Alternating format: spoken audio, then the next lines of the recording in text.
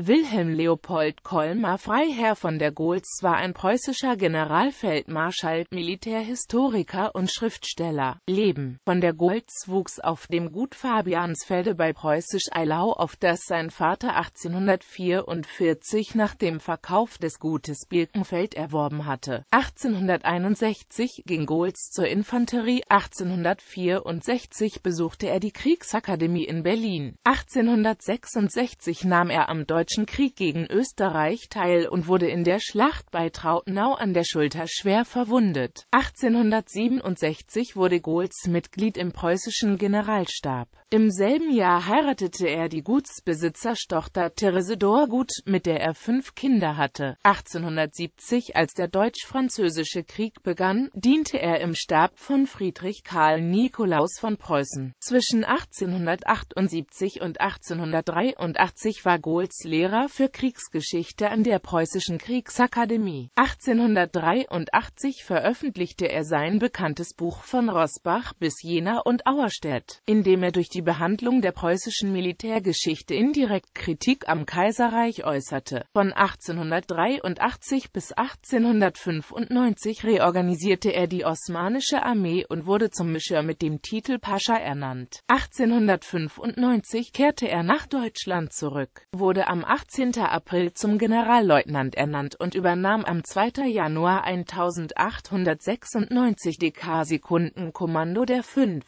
Division in Frankfurt an der Oder. Am 27. Januar 1900 wurde er zum General der Infanterie befördert und übernahm am 27. Januar 1902 die Führung des Armeekorps in Königsberg. Im September 1907 übernahm er die Inspektion der 6. Armee in Stuttgart und wurde 1908 zum Generaloberst befördert. Mit Jahresbeginn 1911 wurde er zum Generalfeldmarschall ernannt und trat schließlich 1913 im Alter von 70 Jahren in den Ruhestand. Am 7. Juli 1909 wäre Goltz beinahe Reichskanzler geworden. An diesem Tag hatte sich Kaiser Wilhelm II. mit dem damaligen Chef des Zivilkabinetts Rudolf von Valentinian Valentini beraten, ob Theobald von Bethmann-Hollweg oder von der Goltz Reichskanzler werden sollte. Der Kaiser war sehr geneigt gewesen, den General zu ernennen, jedoch war dessen erneute Anwesenheit in der Türkei ab Mai 1909 zu wichtig, um ihn nach Berlin zu holen, so dass schließlich Bethmann-Hollweg Kanzler wurde. 1911 gründete von der Goltz den Jungdeutschland-Bund als Dachorganisation überwiegend rechtsgerichteter Jugendverbände. Das praktische Ziel, durch Sport Sport- und Geländespiele die Jugend auf einen möglichen Krieg vorzubereiten, fand auch in den Turn- und Sportvereinen Zustimmung.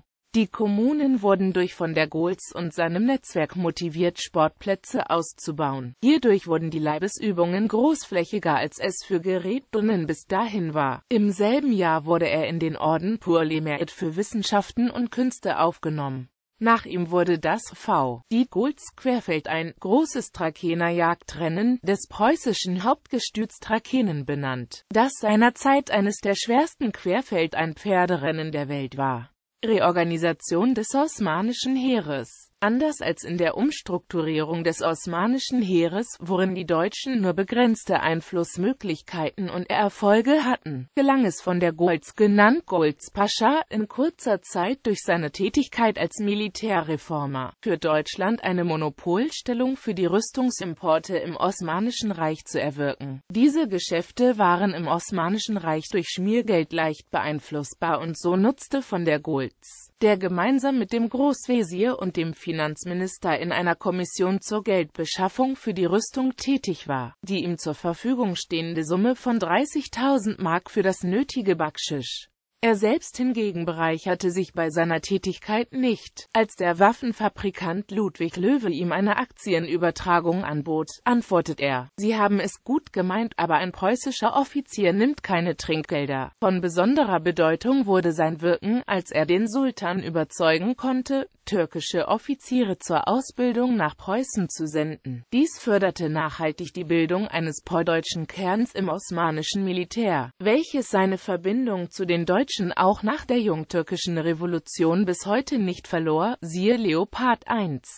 Erster Weltkrieg. Befehlshaber. Da er bei Ausbruch des Weltkriegs schon über 70 war, erhielt er zu seinem größten Bedauern kein Frontkommando mehr, sondern war vom 23. August bis 28. November 1914 Generalgouverneur für das kaiserlich-deutsche Generalgouvernement Belgien. Da er mit den erhaltenen Befehlen bezüglich der Behandlung der Belgier nicht einverstanden war, bat er schon bald um Abberufung von seinem Posten und wurde infolge des Vorschlages des Botschafters Freiherr von Wangenheim wieder in das Osmanische Reich berufen. Dort sollte er, so hoffte der Botschafter, den Leiter der Militärmission, Liman von Sanders, ablösen. Da dieser betreffs der Operationen stets einen strikt militärischen Standpunkt vertreten hatte und sich nicht den eher politisch motivierten Plänen der Botschaft und des Militärattachés beugte, obwohl eine solche Ablösung von der türkischen Seite grundsätzlich abgelehnt wurde, blieben die Vereinbarungen betreffs Entsendung des Generalfeldmarschalls mit den Osmanen bestehen und von der Goltz traf am 12. Dezember 1914 in der Türkei ein, wo er zunächst als militärischer Berater des Sultans eingesetzt wurde. Nachdem Ende März 1915 Liman von Sanders den Oberbefehl über die zur Verteidigung der Dardanellen neu formierte 5.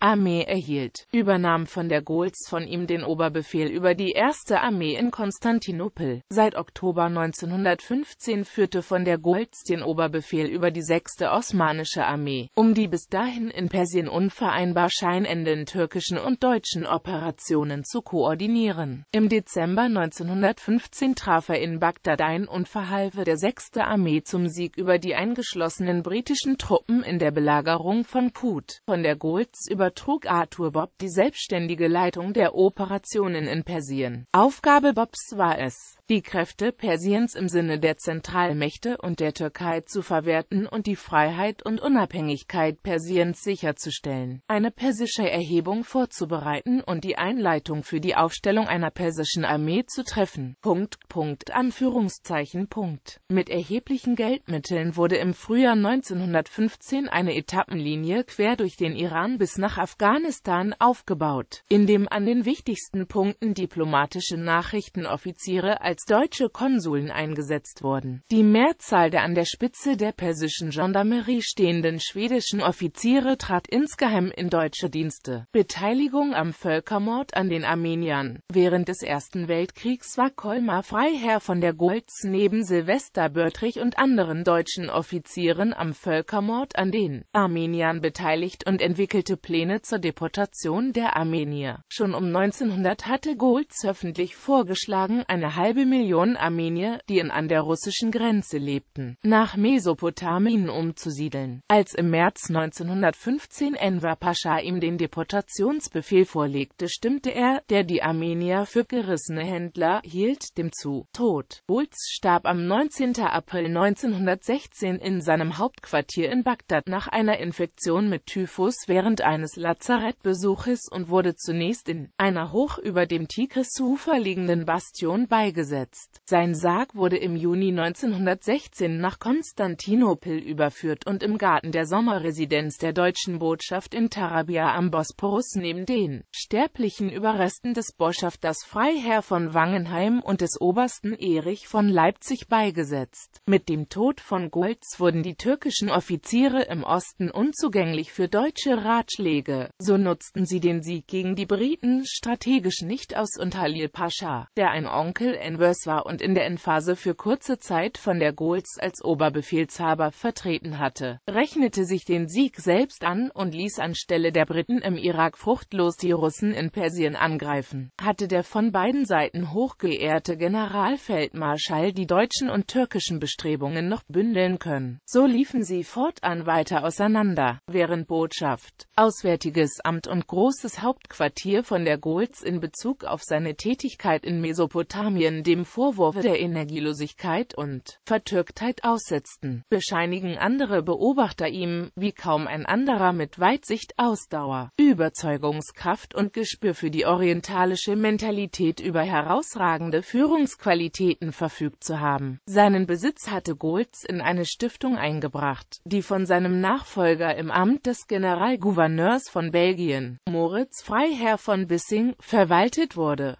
Ziel der Stiftung war es, mittellose heimkehrende Soldaten zu unterstützen. Von Bissing begann mit den Mitteln der Stiftung 1916 den Bau der Siedlung Bissingheim bei Duisburg. Schriften, das Volk in Waffen. Ein Buch über Heerwesen und Kriegführung unserer Zeit. Berlin 1883 Stärke und Schwäche des Tückischen Reiches. Deutsche Rundschau, Band 24 1 S 104 106 109 110 118. Kriegsgeschichte Deutschlands im 19. Jahrhundert. Teil 1 Im Zeitalter Napoleons Berlin, Bondi, 1910. Kriegsgeschichte Deutschlands im 19. Jahrhundert. Teil 2 Im Zeitalter Kaiser Wilhelms des Siegreichen, Berlin, Bondi, 1914 gemeinsam mit Wolfgang Förster bearbeitet und herausgegeben. Denkwürdigkeiten. Berlin 1929